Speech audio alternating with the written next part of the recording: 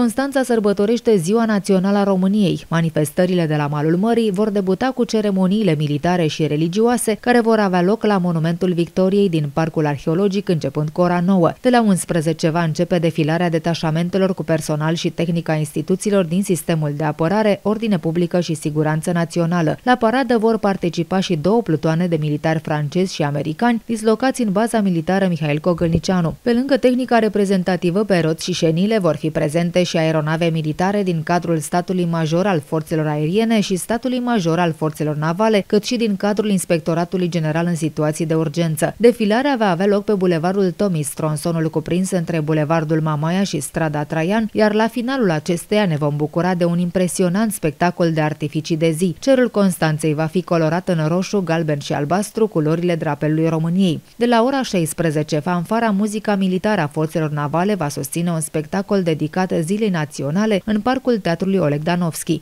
La ora 17 va avea loc retragerea cu a militarilor pe itinerarul Sala Sporturilor, Bulevardul Tomis, Parcul Arheologic, Monumentul Victoria. La ora 19 în parcul Teatrului Oleg Danovski va avea loc un spectacol susținut de Nicolae Voiculeț și Viorica Macovei.